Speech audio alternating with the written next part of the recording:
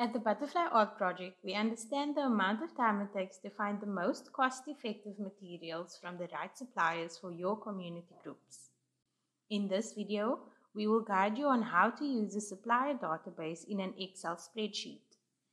This tool will allow you to add your own suppliers and to build into what we have created to make your purchasing experience easier.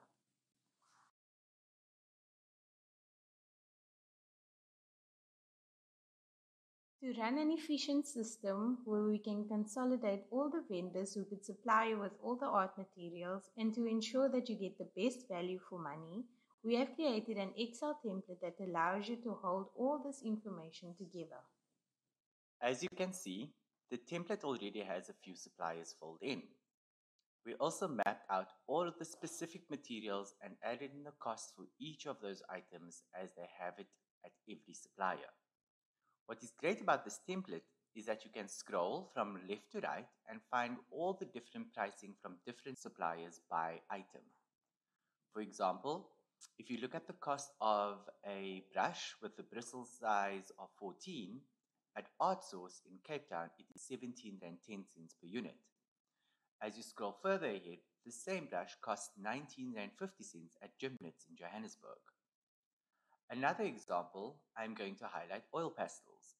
For a pack of 12, you can see the cost at Artsauce is 41 Rand 70. If you scroll further, you can find the costs at other stores too. For example, it is 41 Rand 35 cents at Herbert Evans, whereas Takealot offers Pentel oil pastels for 39 Rand as an alternative. In the last few columns, you will see vendors that only sell particular items such as Regma, which is a paper supplier, hence many of the blocks are empty for, the, for items. In addition to that, we have also added some empty rows and columns for you to add any suppliers that you find in your area. You can edit the document and customize it to best serve you. This document is created so that you can continually add new suppliers and keep up to date with where to find the products. This tool you can find on our resources website page or use the link www.butterflyartproject forward slash resources.